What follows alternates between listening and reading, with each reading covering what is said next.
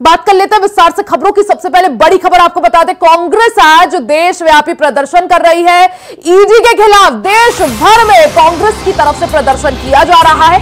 ED दफ्तर का इस दौरान कांग्रेस के कार्यकर्ता, नेता और पदाधिकारी घेराव करेंगे। हिंडनबर्ग रिपोर्ट पर चुप्पी पर जवाब मांगा जाएगा। तो ये बड़ी खबर आपको बता दें, बड़ी खबर, बड़ी जानकारी। कांग्रेस आज देश भर में देशव्यापी प्रदर्शन कर रही है। ईडी के खिलाफ देश भर में कांग्रेस की तरफ़ से प्रदर्शन किया जा रहा है। ईडी दफ्तर का इस दौरान कांग्रेस के कार्यकर्ता, नेता और पदाधिकारी घेराव करेंगे। हिंडनबर्ग रिपोर्ट पर चुप्पी का जवाब मांगा जाएगा। तो जिस तरह से ईडी पर बार बार कांग्रेस ये कहकर निशाना साधती है कि ईडी सरकारी एजेंसी है बीजेपी की प्राइवेट एजेंसी बन गई है।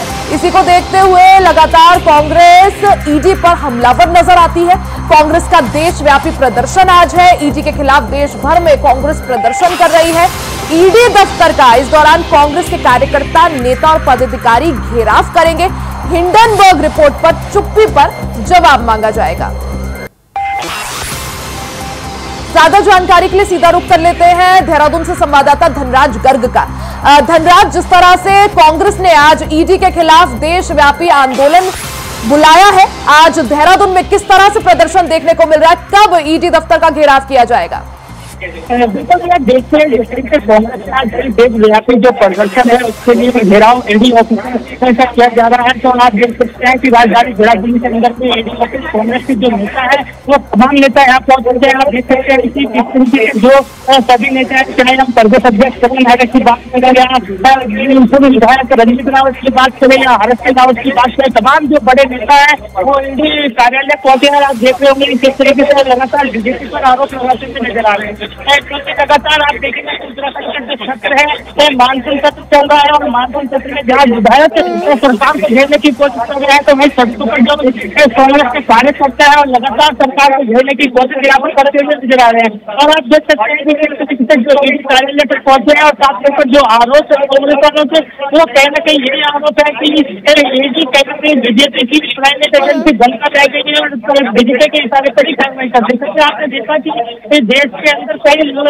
बड़े नामी नेताओं पर ईडी की कार्रवाई हुई है राहुल गांधी को भी नोटिस दिया गया था उसके साथ ही सोनिया गांधी जी को भी नोटिस दिया गया था। तो कहीं ना कहीं आरोप कांग्रेस की तरफ़ से लगातार दिल्ली पर लगाए जा रहे हैं बिल्कुल धन्यवाद जिस तरह से उत्तराखंड विधानसभा का मानसून सत्र भी चल रहा है वहाँ सदन में भी जमकर कांग्रेस जो है अपने तीखे तीरों से बीजेपी को घेर रही है। वहीं दूसरी तरफ़ यहाँ देहरादून में बड़ा प्रदर्शन किया जा रहा है। बड़े बड़े दिग्गज नेता मौजूद है आप मौके पर मौजूद है।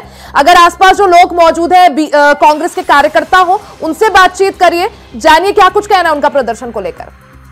बिल्कुल देखते हैं आपको बता दूँ कि जिस तरीके से लगातार कांग्रेस प्रदर्शन करते हुए नज़र आ रही है और लगातार जो उनका कहना है, उनका यही कहना है कि की जो कार्रवाई लगातार करते हुए नज़र आती है, वो कहीं ना कहीं कोई ऐसे लोग बीजेपी के इशारे पर इनकी कार्रवाई करते हुए नज़र आ रही है। हम इस तरह की नेता पे यहाँ पर बात करें उनसे बात करें तो मतलब आज कांग्रेस प्रदर्शन कर रही है, क्या कारण है, क्या मानते हैं कि बीजेपी के साथ काम कर रही है।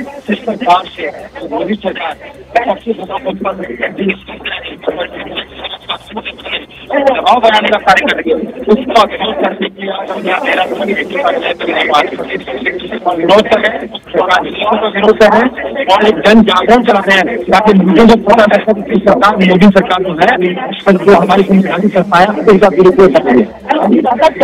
जो सदन चल रहा है, इस समय वहाँ पर कांग्रेस अंदर भी घेरते हुए नज़र आ रही है, सड़कों पर आप हो गए तो क्या कहेंगे क्या ईडी को चाहिए या फिर बीजेपी देखिए जिस प्रकार से हमने कहा गैरसैंड में जब विधानसभा सत्र चल रहा है, वहाँ पर भी कांग्रेस के सभी विधायक जो है, हिंदी का और सरकार का मूल प्रकार में विरोध कर रहे हैं और देहरादून में आपने देखा, संगठन को है ईडी के कार्यालय से विरोध कर रहा है। हमारा सरकार को यह चेताना है कि सरकार का दबाव न बना जाए। संविधानिक संस्थान का दुरुपयोग न दिया जाए, यदि कोई दोषी हो, उस पर कार्रवाई की जाए। लेकिन केवल और केवल सबको दबाने के लिए या जो आदमी बीजेपी को ज्वाइन करने वो उसको काम मुक्त कर दिया जाए ईडी इस प्रकार की चर्चा नहीं होनी चाहिए। ये कि से कांग्रेस के नेता है प्रशासन को ये कहना है कि ईडी अपना कार्य करे लेकिन बीजेपी के दबाव में कार्य न करे। जो दोषी है उस पर कार्रवाई की जानी चाहिए लेकिन जो नेतृत्व है उसको इस तरीके से न दबाया जाए क्योंकि जो लोग बीजेपी में हो जाते हैं कांग्रेस से कहीं ना कहीं वो पाप मुक्त हो जाते हैं उसका विरोध कहीं ना कहीं कांग्रेस आज जताती हुई नज़र आ रही है। धनराज हालाँकि ईडी को लेकर हमेशा ही कांग्रेस बीजेपी पर हमलावर रही है। ईडी को बीजेपी की एजेंसी भी कहती है। और ऐसे में हिंडनबर्ग रिपोर्ट हो या अडानी, अंबानी का मुद्दा हो, कांग्रेस हमेशा से हमलावर रही है। क्या माना जाए, आगे जिस तरह से उत्तराखंड में निकाय चुनाव होने हैं, केदारनाथ में उपचुनाव होना है, क्या ये बड़ा मुद्दा बनाया जा सकता है कांग्रेस द्वारा? बिल्कुल कहता है कि जिस तरीके से उत्तराखंड के अंदर हाल ही में निकाय चुनाव हो रहे हैं और समाज जो चुनाव है ना चाहे उस चुनाव की बात करें, इस तरह के चुनाव हो रहे हैं, चाहे उसको लेकर कांग्रेस बड़ा मुद्दा कोशिश ज़रूर करेगी और मैं इस बारे में जानना चाहूँगा कांग्रेस के नेता है, वो हमारे साथ मौजूद है बात करेंगे। लगातार ये का हवाला करते हुए यूपी निकाय चुनाव भी है उस चुनाव में तो किस तरीके से कांग्रेस को सरकार को देखते हुए निकल आएगी देखिए आज गैस हमारा विधानसभा का सत्र चल है। और निश्चित तौर पर जो है से जाँच एजेंसी को करके भारतीय जनता पार्टी की सरकार बना के दस के तौर पर अधिकारी काम कर रहे हैं। निश्चित तौर से इसका कांग्रेस करने और हमारे माननीय विधायक सांसद सभी की इसका हम लोग प्रयोग करेंगे और हमारा कांग्रेस कहना है कि सरकार से लगातार हमारे नेताओं को जो नेता है तमाम नेता हमारे हैं इनको जो है ईडी सीबीआई तमाम जाने जा रहे हैं कहीं ना कहीं इस सरकार की व्यवहार को दर्शाता है, ये सरकार भरी हुई है सैनिक की सरकार है जो हम कहना चाहते हैं तो उस सरकार को हमारे, हम सभी से मेरा सवाल ये है जिस तरीके से मुद्दा ईडी को उठाया गया है, क्या निगम चुनाव में बनाया जाएगा निश्चित तौर पर निकाय चुनाव हमारे सामने है और जनता जागरूक है शहरी जनता है शहरी जनता सब जानती है। और इस बात में हम संगठन को जनता के दूसरे के लेंगे हमारे जो स्थानीय मुद्दे हैं तो रहेंगे लेकिन सरकार से जो राष्ट्रव्यापी मुद्दे हैं जो जनता समझती है समझ हम चुनाव में बिल्कुल यार देखिए आपने सुना कि सभी लोग कहीं ना कहीं मानते हैं कि जो नगर निकाय के चुनाव है या चुनाव है उत्तराखंड के उसमें भी कहीं ना कहीं कांग्रेस इसको मुद्दा बनाते हुए जनता और यही वजह है कि हिंडनबर्ग रिपोर्ट पर चुप्पी को लेकर ईडी का आज घेराव किया जा रहा है। धनराज, आप बने रहिएगा। जयपुर और दिल्ली भी अपने दर्शकों को लिए चलते हैं। जयपुर से हमारे साथ कुलदीप जुड़ चुके हैं, वहीं दिल्ली से हमारे साथ अजय जुड़ चुके हैं। कुलदीप, आपके पास आना चाहूँगी, जिस तरह से ईडी के खिलाफ आज कांग्रेस ने मोर्चा खोल दिया है, किस तरह से ईडी दफ्तर का घेराव, किस तरह से क्या कुछ तैयारियाँ? कांग्रेस के तमाम कार्यकर्ता शामिल हो चुके थे क्योंकि दरअसल जब कल भारत बंद का कांग्रेस ने समर्थन किया तो आज ही के दिन कांग्रेस के तमाम नेताओं को जयपुर रोका गया था और जयपुर में जिस तरीके की तैयारियाँ अमरूदों के बाग में की गई थी वहाँ पर हज़ारों की तादाद में कांग्रेस नेताओं का पहुँचना शुरू हो गया और खुद गोविंद सिंह डोटासरा जो पीसीसी चीफ है वो इस पूरे धरने प्रदर्शन की अगुवाई कर रहे हैं। उनके साथ कांग्रेस के बड़े नेता दिग्गज नेता प्रताप सिंह खाचरियावास हरीश चौधरी और तमाम विधायक जो कांग्रेस के मुकेश भाकर हो इन तमाम तमाम विधायकों के साथ वो मंच पर आसीन है और ही अपने तमाम कार्यकर्ताओं को लेकर ईडी का घेराव करने के लिए पहुँच चुके हैं और फ़िलहाल ईडी दफ्तर के बाहर प्रदर्शन चल रहा है लेकिन पुलिस का जो अमला वो तैनात किया गया है क्योंकि किसी तरीके का कोई उग्र प्रदर्शन विपक्ष की ओर से ना हो वाटर कैनन की यहाँ पर गाड़ियाँ हम्म। खड़ी नज़र आ रही है जहाँ पर एक और प्रदर्शन केंद्र सरकार को घेरने की कोशिश की जा रही है क्योंकि राजस्थान वो स्टेट है जहाँ पर स्टेट में भी बीजेपी है और सेंट्रल में भी बीजेपी है तो हम्म। डबल इंजन के सरकार को घेरने की कोशिश कांग्रेस लगातार कर रही है और इसे मुद्दा इसलिए बनाया जा रहा है क्योंकि राजस्थान अहम राज्य हो जाता है जहाँ पर छह सीटों पर हाल ही में उपचुनाव होने हैं और उपचुनाव के दृष्टिकोण से भी अब कांग्रेस कहीं ना कहीं इस पूरे मामले को लेकर उग्र नज़र आ रही है जिस पर खुद सचिन पायलट जो कांग्रेस के वरिष्ठ नेता है वो इस पूरे मामले को लेकर ईडी के खिलाफ कांग्रेस ने मोर्चा बंदी पूरी तरह से शुरू कर दी है। अजय अगर बात करें दिल्ली की क्योंकि देश भर में देशव्यापी प्रदर्शन आज कांग्रेस कांग्रेस कर रही है। ईडी का घेराव करने की कोशिश की जा रही है। दिल्ली की अगर स्थिति की बात करें, क्या कुछ दिल्ली में स्थिति? रिया बता दें, दिल्ली के आज जो दिल्ली प्रदेश अध्यक्ष देवेंद्र यादव की अगुवाई में आज दिल्ली के जनता मंच पर हज़ारों की संख्या में लोग एकत्र हुए। वहाँ पे उनके जो पूर्व विधायक थे, निगम पार्षद, जो पूर्व सांसद थे, सचिन पायलट भी यहाँ पहुँचे हुए थे। यानी उनका सीधा कहना है कि जिस पर जेसीबी की मांग की बात करा जा रहा है कि आखिरकार बीजेपी सरकार जेसीबी की क्यों नहीं गठित करी? क्योंकि मेंबर भी उन्हीं के होंगे जिससे अडानी अमानी को फ़ायदा उठाया जा रहा है फ़ायदा दिया जा रहा है उनको पैसा दिया जा रहा है। आखिरकार क्यों बीजेपी उसमें जाँच नहीं कर रही है? वही बता दें कि महँगाई को लेकर के भी और बेरोजगारी को लेकर दिल्ली के जनता पर यहाँ एकत्र हुए साथ साथ कहा है कि अगर ऐसा है तो सचिन पायलट ने खुद ये बात कही है कि सदन के अंदर ये बात उठाई गई थी कि आखिरकार जेसीबी मांग को लेकर के बीजेपी क्यों पिछड़ रही है? क्योंकि जो गठित किया जो कमेटी बनेगी वो बीजेपी के ही कार्यकर्ता होंगे वही उनके चेयरमैन होंगे। लेकिन कांग्रेस के जो इंडिया गठबंधन था सभी ने ये बात कही थी लेकिन सवाल यह है कि बीजेपी कहीं ना कहीं जो मोदी है मोदी लगातार कहीं ना कहीं अडानी अंबानी को फ़ायदा पहुँचाने का काम करती है ना कि देश की जनता को। यानी कि पूरा श्रेय अडानी को दिया जा रहा है। वही सवाल और सामने आया कि लगातार जिस तरह से कहा कि देश को हिंदू राष्ट्र बनाना है उन्होंने कहा कि हिंदू राष्ट्र बनाना अडानी अडानी देश बनाना है। यानी कि सवाल है मोदी सरकार को किस चारों तरफ़ से घेरते नज़र आए? आज कांग्रेस के कार्यकर्ता क्योंकि बीजेपी ने भी की रिपोर्ट हो या अडानी अंबानी का मसला हो इसको लेकर कांग्रेस हमेशा से भारतीय जनता पार्टी पर हमलावर रही है। अजय आऊँगी आपके पास एक बार धनराज का रुख कर लेते हैं। धनराज जिस तरह से आप देहरादून में उसी जगह पर मौजूद है जहाँ पर कांग्रेस प्रदर्शन कर रही है। धनराज अगर सुरक्षा व्यवस्था की बात करें किस तरह से सुरक्षा व्यवस्था? पहले से ही जनजाति हड़ताल का और प्रदर्शन का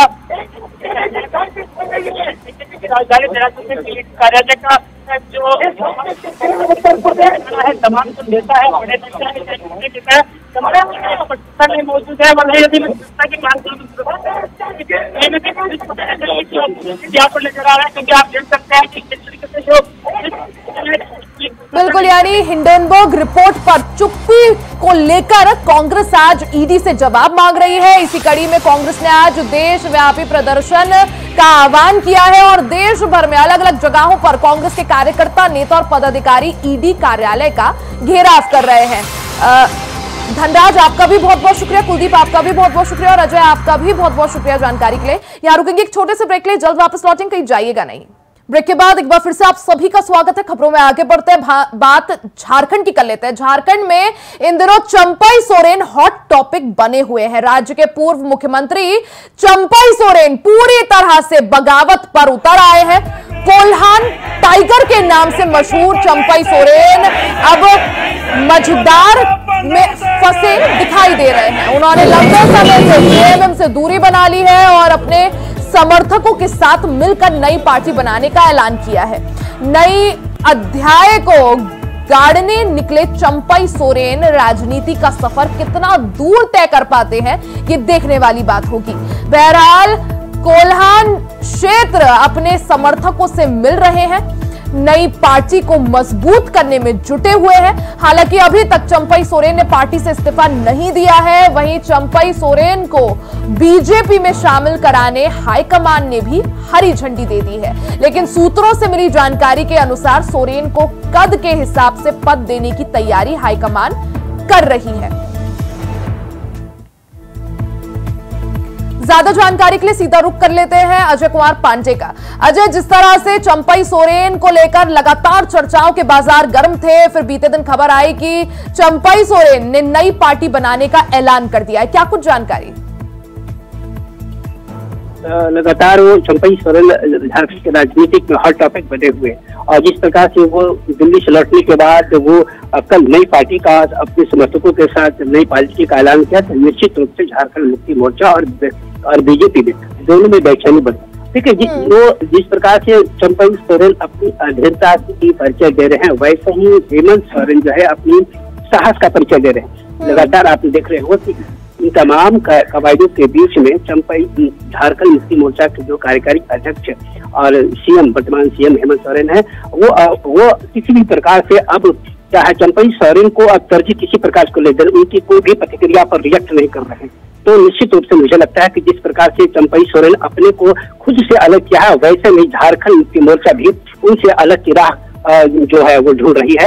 तो निश्चित रूप से मुझे लगता है कि चंपई सोरेन जो है अपनी राह अब राजनीतिक वजह क्या अजय की अभी तक जेएमएम से उन्होंने इस्तीफा नहीं दिया? क्या अभी भी समय ले रहे हैं कुछ सोचने समझने का?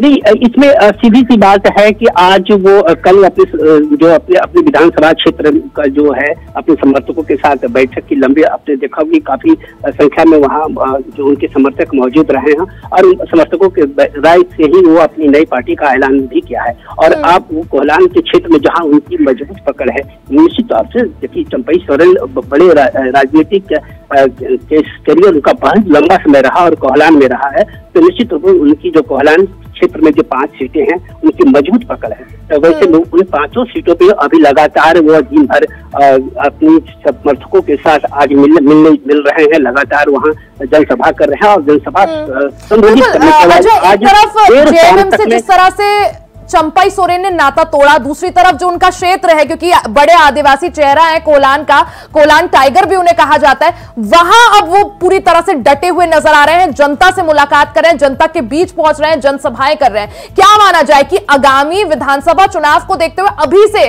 कमर कसली है। जी बिल्कुल। निश्चित रूप से जिस प्रकार से उन्होंने अपने कोहलान क्षेत्र में अपनी मज़बूत पकड़ बनाने और अपनी नई राजनीति को जो ढूंढ रहे हैं वैसे में मुझे लगता है कि वो अपनी पूरी तैयारी के साथ वो झारखंड या राजधानी लौटेंगे और लौटने के बाद वो अपनी पार्टी से इस्तीफा देंगे उसके बाद अपने मंत्री पद से भी इस्तीफा देने की भी बात चर्चा चल रही है। मुझे लगता है कि आज देर शाम तक वो रांची पहुँचेंगे और कल ये सारी चीज़ें गतिविधियाँ आपको देखने को मिल सकती है क्योंकि आज मुख्यमंत्री हेमंत सोरेन आज पलामू में है और वो अमैया योजना की आज सौगात पलामू प्रमंडल को देने जा रहे हैं। तो वैसे में उनका लगता है कि मुख्यमंत्री से न मिलना और इस्तीफा सौंपने की जो बात है वो सही तरीके से पारंपरिक तरीके से नहीं हो पाएगा। ऐसे इसी कारण को बिल्कुल यानी जेएमएम से बगावत के बाद अब चंपई सोरेन अपने गृह क्षेत्र में डटे हुए हैं। वहाँ जनता से मिल रहे हैं जनसंपर्क कर रहे हैं। हालाँकि उसका कितना फ़ायदा उन्हें होता है वो वक्त बताएगा। अजय बहुत बहुत शुक्रिया जानकारी के लिए। इसी के साथ इस बुलेटिन में फ़िलहाल के लिए सिर्फ़ इतना ही। खबरों का सिलसिला जारी रहेगा। बने रहे हमारे साथ।